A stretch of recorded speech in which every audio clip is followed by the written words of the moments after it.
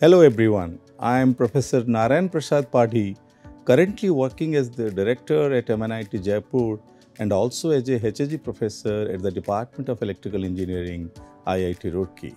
I do research on power system operation and control, smart grid and AC-DC microgrid. Hello, I am Dr. Subho Paul, currently working as an assistant professor at the Department of Electrical Engineering, Indian Institute of Technology, BHU, Varanasi.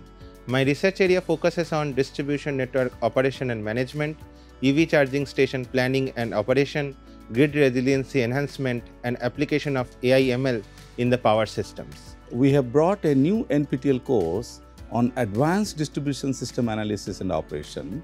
As we all know that for the past few years, electrical distribution networks are experiencing a paradigm shift that it is no longer a passive system that simply delivers power.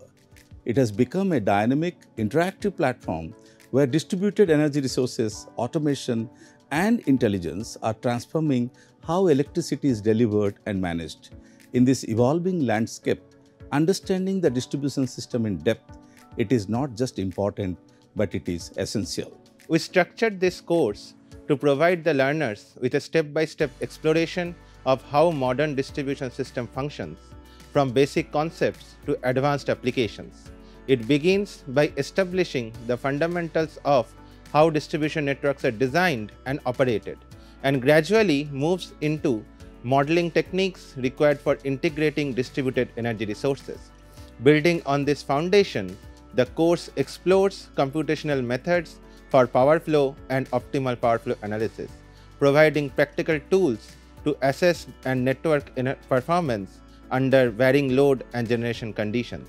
As we progress, the course will also introduce the participants the concept such as system reliability, interconnection with transmission system, artificial intelligence applications for real-time monitoring, fault detection, methods for improving resilience, and the importance of communication facilities on the successful operation of the distribution system.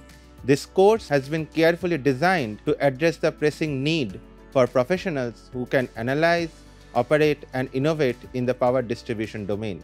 It will not only build a strong theoretical foundation, but also prepare learners to solve real-world challenges in active distribution networks. Whether you are a researcher aiming to contribute to academic advancement, a faculty member updating your understanding of the field, or an industry or utility professional working on grid modernization, this course offers a timely and relevant platform to grow, I encourage all of you to engage deeply and explore the rich set of ideas this course presents. Together, let us navigate the complexities of today's power distribution system and unlock the opportunities of tomorrow.